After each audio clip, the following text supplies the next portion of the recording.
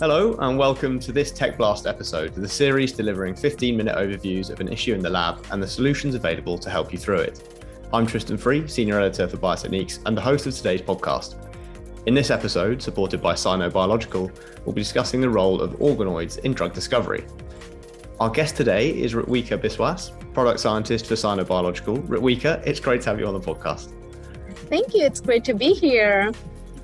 So earlier in the series, you spoke with my colleague Annie and gave an overview of organoids. Could you now provide an overview of the of the drug discovery and development process before we get into how organoids can impact this space? Absolutely. Um, so there are five critical steps in the US FDA drug development process, including many phases and stages within each of them. So, step number one is discovery and development. Step number two is preclinical research. Step number three is clinical development. Step number four is FDA review. And step number five, the last step, is FDA post market safety monitoring. So, to put it simply, the process of drug development starts with target based or cell based assays, followed by lead optimization, screening, and preclinical approaches. Finally, a target is identified and a molecule is designed for it. Then the molecule goes through clinical research and to clinical trials in humans. And the last steps of the pipeline include registration and manufacture of the medicine. Now, historically, drug discovery, design, and development mostly started with identifying active ingredients from traditional medicines. Later, classical pharmacology was used to investigate potential drug candidate libraries, including small molecules, natural products, or even like plant, uh, plant extracts, and identify those with therapeutic effects. Now, since human DNA was sequenced, reverse pharmacology has found remedies to like existing diseases through modern testing. And this was actually a pretty big step in modern medicine. Now, some of the most tedious parts of the, this process are basically the target and drug screening. Because according to NIH, for every drug that gains FDA approval, more than a thousand were developed and failed before they even reached humans. And what are some of the traditional methods that are used for target validation um, and drug screening? Okay, so for drug discovery, two different complementary approaches can be applied. The first one is known as phenotypic drug discovery, which is classical pharmacology. And uh, this has been basically the historical basis of drug discovery. And the second is reverse pharmacology, also called target based drug discovery.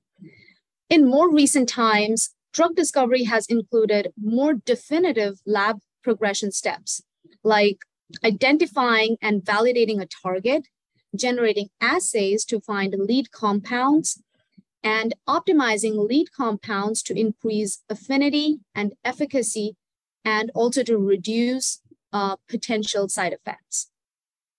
Now, a drug target has a specific implication for a disease, and lead compounds are molecules that bind to the validated drug targets. A good drug target should be safe and it should meet all the clinical and commercial requirements. Once a lead compound is found, the preclinical phase of drug development begins using 2D culture and animal models to determine the efficacy and safety of the drug. Now, usually researchers determine some critical aspects about the drug, like, for example, um, absorption, m- metabolization, potential benefits, and mechanism of action, then also best dosage and administration route, uh, side effects, interaction with other treatments, effectiveness compared to other, other similar drugs, and also very importantly, effects on gender, race, and ethnicity groups. So generally, 2D culture and animal models are the traditional methods for target and drug screening. Animal models tend to be expensive, whereas assays using cultured cells have proven to be easily replicable, quick, and cost effective. The most commonly used method in drug discovery to date is the use of 2D cell culture. And the 2D cell cultures have aided in the discovery of many biological and disease processes, but are unable to mimic the complicated microenvironment um, cells experience in tissues. What are some of the uh, other additional challenges that are associated with these approaches? Okay, so like traditionally, cell culture models have been inadequate in recapitulating the, com- the complex in vivo microenvironment and thus have been uh, limited in their ability to predict in vivo efficacy and toxicity. While no model is perfect, in vivo animal, animal studies do not translate very well to results obtained in human clinical trials, particularly with regard to toxicology. The most common challenges are first, levels of complexity.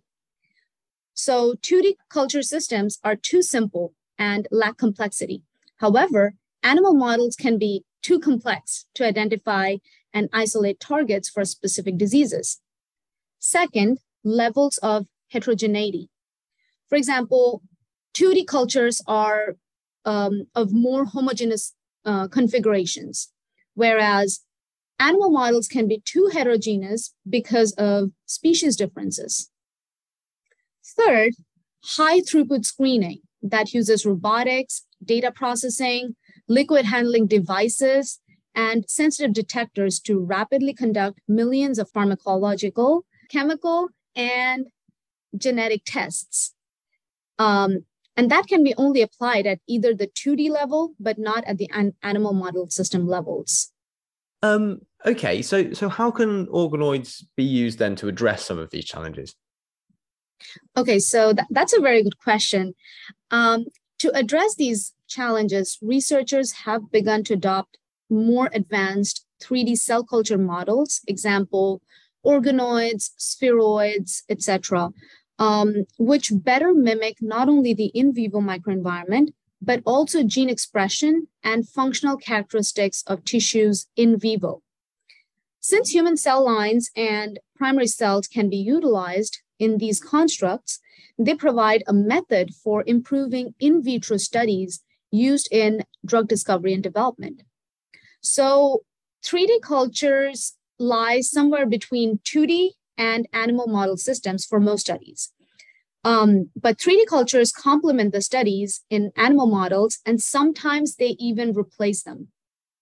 And these 3D cultures can be generated from adult stem cells or induced pluripotent stem cells. So basically, we can take patient samples, isolate the stem cells, and culture them as organoids. We can use these, these systems for disease modeling and perform cell-based assays on these organoids, and then we can select the targets and design the drug accordingly.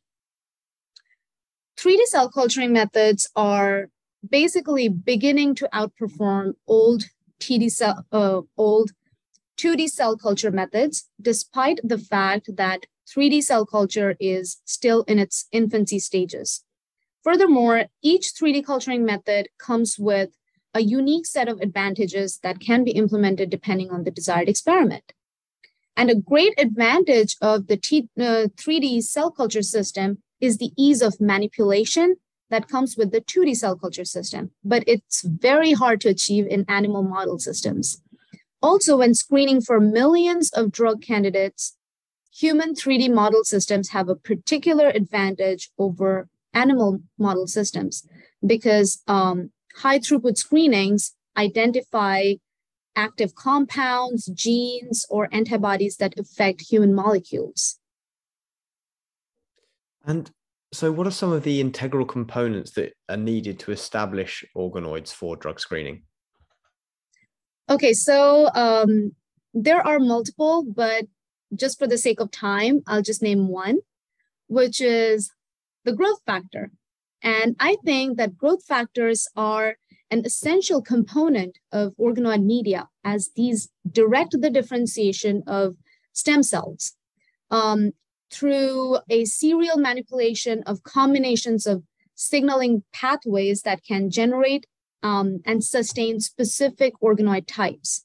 So, for a majority of organoid types, the growth factor requirements include the requirement for um, Wnt, R-spondin 1, or a combination of both. For example, with intestinal stem cells, we need R-spondin 1 and BMP signaling antagonists such as noggin.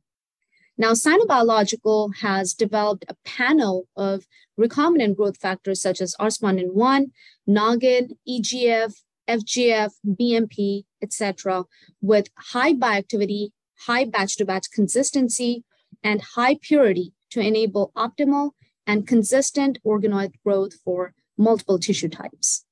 Excellent. Um, and then what are some of the challenges then that are still associated with using organoids in drug discovery? Um, so 3D cell culturing methods stand at the precipice of groundbreaking discovery and have the potential to unlock the answers researchers have been unable to uncover through the use of 2D cell culture techniques. Now, this great technology comes with uh, quite a few challenges, I'm afraid. And um, uh, just to name a few, um, there's the lack of defined extracellular matrix, slow maturation rate, lack of vascularization, and lack of complexity when compared with animal model systems. But these challenges can be addressed by tissue engineering, using well defined matrices like hydrogels, increasing the complexity of the organoid models by co culturing and by the use of organoid on a chip model. Although advantageous in many ways over 2D cultures, 3D culture tends to be more expensive and can be very difficult to replicate um, cell environments, microenvironments, when using certain 3D culture methods. Imaging can also become very difficult when large scaffolds are used because there is a limit when scaling a single 3D format. So the most common way to analyze cellular phenotypes is by using a confocal, you know, or a conventional wide field microscope. Now, fluorescence microscopy is often still challenging in 3D culture systems because, um, unlike 2D cell cultures, where there is only a single XY axis, 3D cell cultures must obtain a Z stack by taking a series of XY images at fixed intervals in the vertical direction by automated microscopes. So, uh, so basically, there are some challenges that we need to think about. And uh, still, we are, uh, since we are still talking about the drug screening, um, another aspect of drug screening is the screening in cell-based assays that accurately represent human population. And 3D cultures also come into play there, especially in organoid biobanking. Okay, and so you've mentioned organoid biobanking there. What are these biobanks and, and how can they help address some of the challenges with organoids? Okay, so organoids recapitulate the characteristics of the parent organ. Generally speaking, the original tissue physiology and molecular pathology are preserved in the organoid. So instead of just tissue biobanking, which is basically just preserving the biopsy samples for a later use, we can generate organoids from these biopsy samples and make organoid biobanks that can be used for drug screening. The main advantage of uh, the organoid biobanking over biopsy samples is that you get an unlimited supply of the patient sample because you can keep on regenerating the organoid and you can keep on resupplying the researchers. Moreover, you can get samples from patients representing multiple disease subtypes, and you can identify drug targets in a specific disease subtype. Also, you can identify a disease subtype by studying the drug responses. Fantastic. Um, and how do you see these organoids um, and their impact in drug discovery sort of impacting across into the precision medicine field? So, this new technology has a tremendous impact on precision medicine. Ever since we could develop and recapitulate the disease physiology microscopically, an entirely new opportunity for precision medicine opened up. Multiple studies have concluded so far that this model is more accurate than other current in vitro models, which are the 2D models. And it contains the potential to eventually lead to personalized medicine as a result of the utilization of patient derived cells. Now, PDOs, short for patient derived organoids, can be generated from diverse patient backgrounds. And we can have the genomic, transcriptomic, epigenomic, and proteomic data. That helps in the evaluation in um, that helps in the evaluation of drug sensitivity. And this also helps towards target validation. Furthermore, a particular drug can be used to define disease subtypes by PDO responses. We can also identify functional biomarkers for precision medicine. And in this case, you can also check PDO responses of multiple drugs and personalize the therapeutic regimen for that particular individual. Well, Rika, it's been great talking to you and hearing more about this exciting technique. Thank you so much for coming on the podcast. Thank you very much for having me. Thank you so much to all of our listeners as well for uh, tuning in and listening. Thank you for listening and goodbye.